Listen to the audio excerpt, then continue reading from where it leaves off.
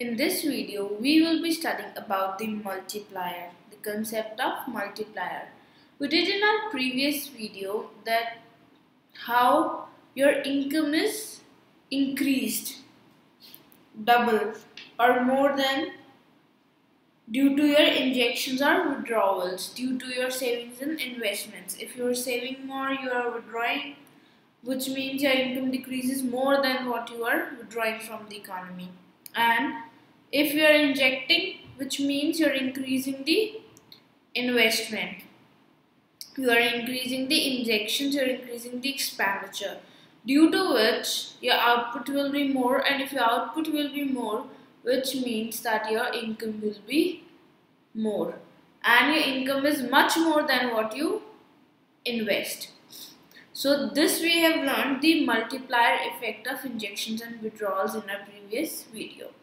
In this video, we will be studying about the multiplier. So we have seen that how additional investment causes additional output and that additional output causes your additional income in the economy. The increase in income is many more times than the increase in investment. The factor by which output or income increases because of increase in investment is called investment multiplier. So what is now multiplier? The factor by which output or income increases because of increase in investment is called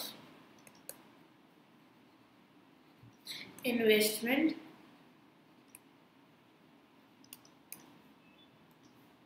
multiplier.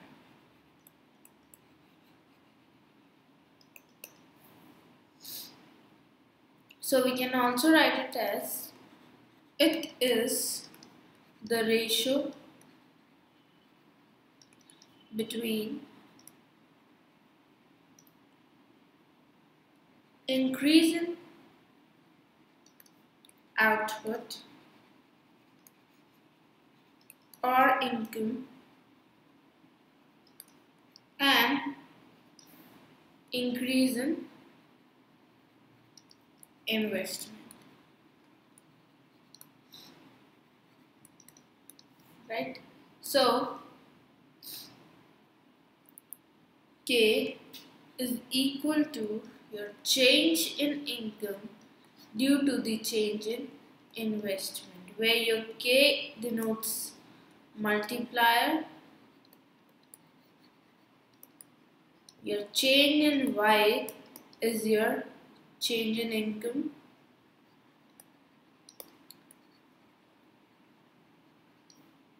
Change in I is your change in investment. Right?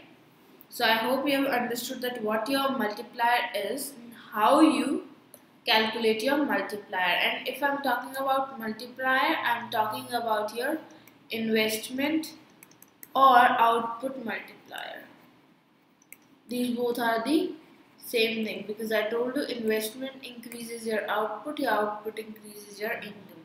So this is all the same investment output or income multiplier. This is the question. If investment increases by rupees 15 crore which means that change in I is rupees 15 crores. And as a consequence income increases by rupees 60 crores. That is your change in income is rupees 60 crores. Now calculate the multiplier. We have the formula that your multiplier is equal to change in y upon the change in investment that is your 60 divided by 15 which gives you 4 So it implies that an increase in income is four times than the increase in investment, right? So accordingly your multiplier is four times. That is the income increases four times than the increase in investment. So this is your multiplier. I hope you have completely understood this. Please download our Scholars Learning app and enjoy the learning experience with us.